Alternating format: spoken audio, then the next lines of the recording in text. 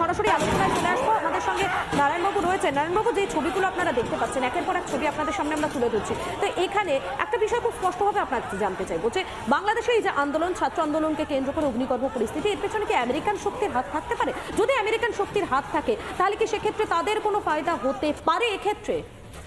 দেখো আমি আগেই বলেছি যে এই আন্দোলনটা পেছন থেকে যারা পরিচালনা করছে তারা মানে বাংলাদেশের জন্মের আগে থেকেই কিন্তু স্বাধীন বাংলাদেশের বিরোধী শক্তি ছিল এবং তারা যত সময় গেছে তাদের আমাদের প্রতিবেশী রাষ্ট্রের কাছে আমাদের যে সাহায্যের হাত বাড়িয়ে দেওয়া এবং তাদের যে স্বাধীনতায় ভারতের কন্ট্রিবিউশন সেইটাকে বিস্তৃত হয়ে তারা কিন্তু ভারত বিরোধিতায়ও নেমেছে। এবং দেখো ভারতের গণতান্ত্রিক পরিবেশের সুযোগ নিয়ে কিছু শূন্য থেকে মহাশূন্যে বিলীন হয়ে যাওয়া দলের সমর্থক লোকজন তারা কিন্তু সবসময়ই এগুলোর বিরোধিতা করেন এবং আমাদের ভারতীয় জাতীয়তাবাদেরও তারা বিরোধী।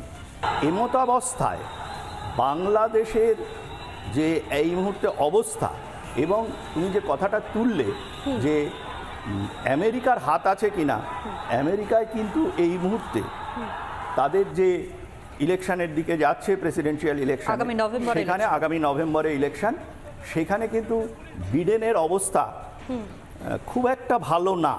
ঠিক।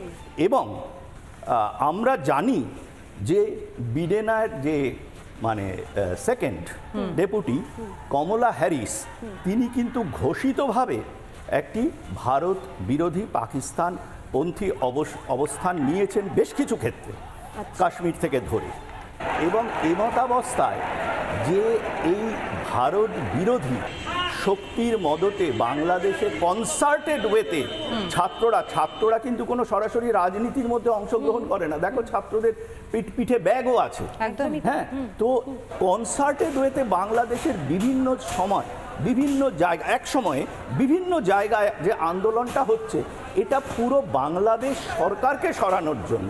মানে এর বাংলাদেশ একটা এমন জায়গা হয়ে গেছে এখান- এখান থেকে আমি একটু জানবার চেষ্টা করব। ইকোনমিক এক্সপ্লয়টেশনের জন্য চীন আমেরিকা এইসব বিভিন্ন দেশ কিন্তু ঝাঁপিয়ে পড়ে বেশ, আমি এখানে আসব, একটা ব্রেকিংও এসছে, আমি একটু জানাব কিন্তু তার সঙ্গে সঙ্গে আজিজুল্লাহ কাছে, আপনার কাছেও আসব। কিন্তু তার আগে ব্রেকিংটা জানাই যে ইতিমধ্যে কিন্তু ক্রমাগত লাফিয়ে লাফিয়ে বাড়ছে মৃতের সংখ্যা। আপনাদেরকে সকালে জানিয়েছিলাম যে পঞ্চাশ, পঞ্চাশের থেকেও বেড়ে যেতে পারে আশঙ্কা প্রকাশ করা হচ্ছে। আর এরই মধ্যে যেমনটা ব্রেকিং জানাচ্ছে যে মৃতের সংখ্যা বেড়ে হলো একশো পাঁচ।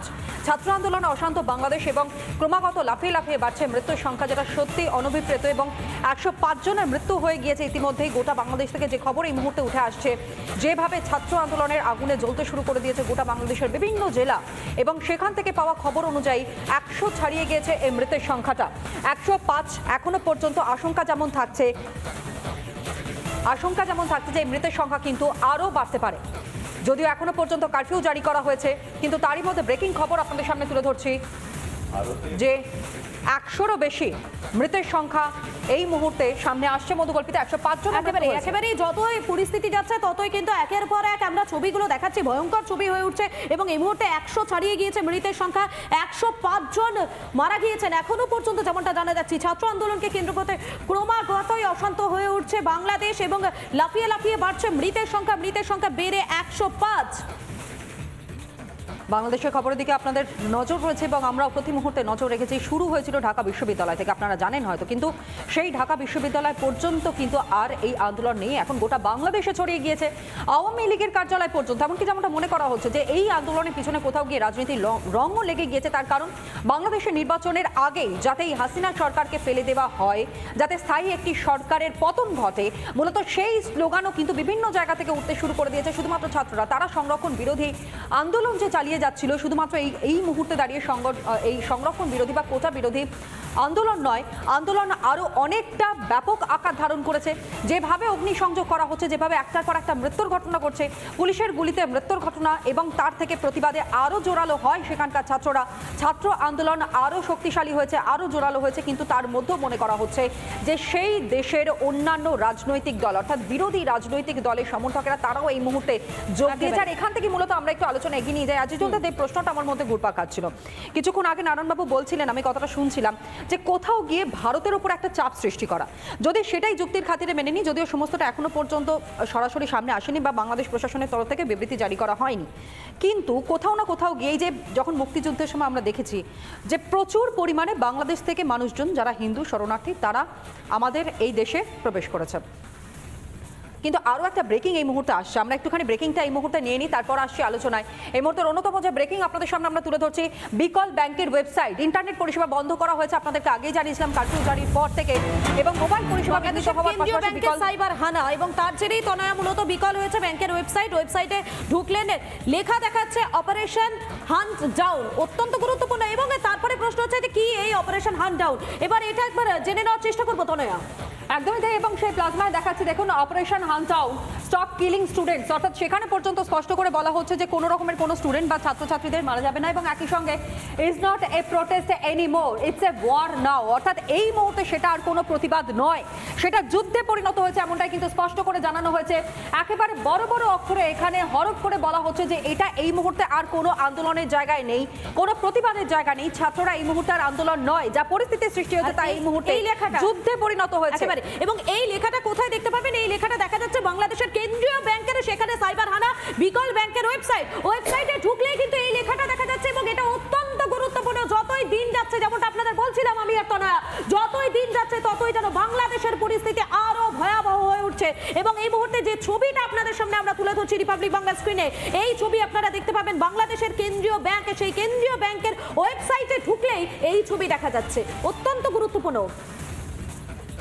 একদমই তাই, এবং যেমনটা আপনাদের সামনে আমরা তুলে ধরছিলাম যে এই মুহূর্তে আর কোনো আন্দোলন নয়, কোনো প্রতিবাদ নয়, বাংলাদেশে যা পরিস্থিতি সৃষ্টি হয়েছে তা যুদ্ধ পরিস্থিতি সৃষ্টি হয়েছে, এমনটাই কিন্তু এমনটা করে জানানো হচ্ছে।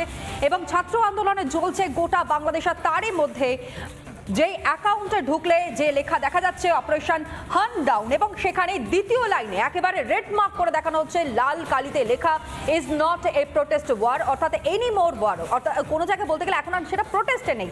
প্রোটেস্টের জায়গাতে নেই এটা এখন যদি বলা যায় যে এই এবং এবং বলা যেতেই পারে যে এই যে লেখাটা রয়েছে যেটা একদম বাংলায় যদি বলা যেতে পারে এটা আর কোনো আন্দোলন নয়। এটা একেবারে যুদ্ধ এবং প্রশ্ন হচ্ছে যে এই হানডাউন এই অপারেশন হানডাউন তাহলে কি? এটাই সব থেকে বড় প্রশ্ন।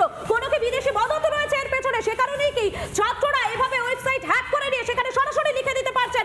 এটা আর কোনো আন্দোলন নয় এটা এখন যুদ্ধে পরিণত হয়েছে কিন্তু এরই সঙ্গে জানানো হচ্ছে যে ওয়েবসাইট কোনো হানাই হয়নি কারিগরি ত্রুটির কারণে সমস্যা হচ্ছে এমনটাই জানাচ্ছে বাংলাদেশ ব্যাংক।